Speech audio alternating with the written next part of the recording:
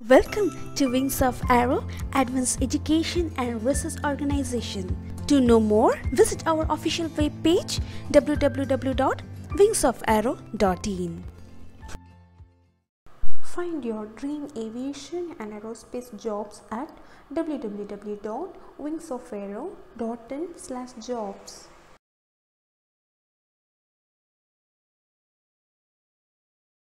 Now we are going to learn how to find the principal strains, maximum shear stress and the maximum shear strain of rectangular element. Consider a rectangular element in a linearly elastic isotropic material is subjected to tensile stresses of 83 and 65 Newton per millimeter square on mutually perpendicular planes. Determine the strain in the direction of each stress and in the direction perpendicular to both stresses. Find also the principal strains, the maximum shear stress, the maximum shear strain and their directions at the point. Take E is equal to 200,000 Newton per millimeter square and nu is equal to 0.3. Here we consider the rectangular element. Let me write the given data. Tensile stress in x direction sigma suffix x is equal to 83 Newton per millimeter square and tensile stress in y direction sigma y is equal to 65 Newton per millimeter square. Modulus of elasticity or Young's modulus E is equal to 200,000 Newton per millimeter square and Poisson's ratio nu is equal to 0.3. Now we have to find out the strain, principal strain, maximum shear stress and maximum shear strain. First find strain in the direction of each stress. The fact that strain means relative change in shape or size implies that it is dimensionless and has no units. Strain is directly proportional to the Poisson's ratio.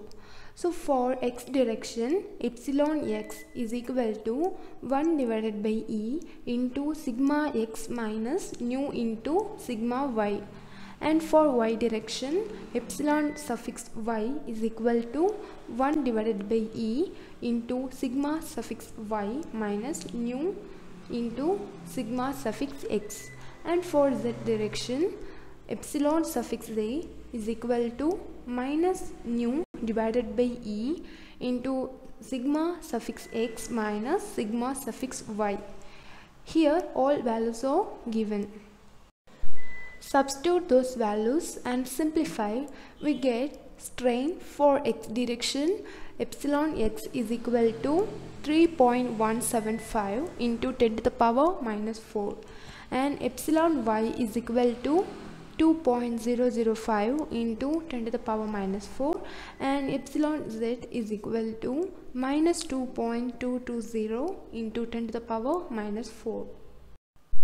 In this case, since there are no shear stresses on the given planes, sigma x and sigma y are principal stresses so that epsilon x and epsilon y are the principal strains and are in the directions of sigma x and sigma y.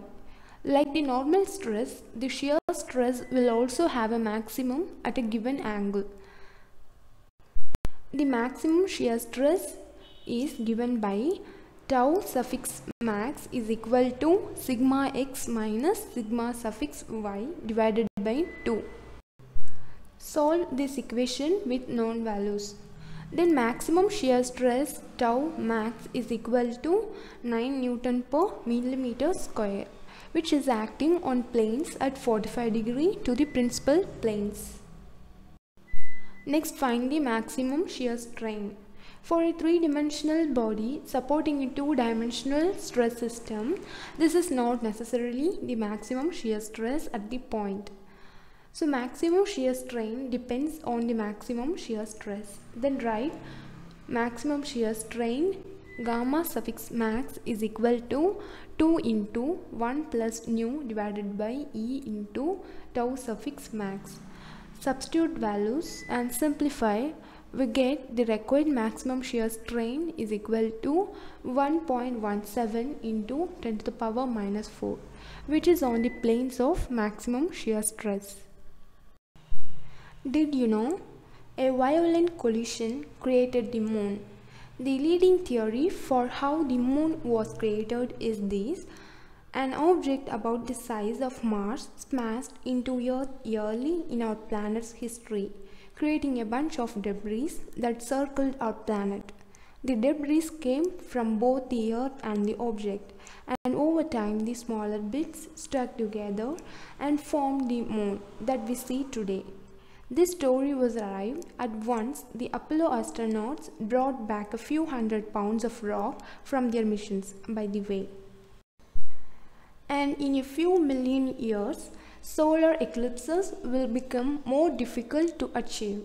The moon is very slowly drifting away from the earth, which we found out after the Apollo astronauts left a laser reflector on the surface on which scientists could bounce beams.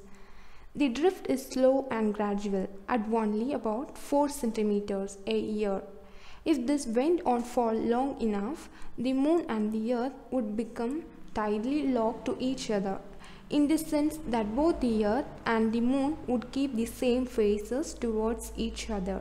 But the sun will expand into a red giant and likely engulf our planet in 5 billion years, long before the tidal locking happens. The moon has dancing dust especially around sunrise and sunset on the moon, dust tends to hover above the surface. It might have something to do with the particles being electrically charged, or it might be some other phenomenon at work. The effect was noticed by some of the Apollo astronauts and also studied in detail during the LADEE mission. If you have further inquiry or requested video, drop down to our mail wingsofaero at the rate gmail.com. Don't forget to subscribe for more updates. For the time being, take care, stay blessed, inspired, and fly high.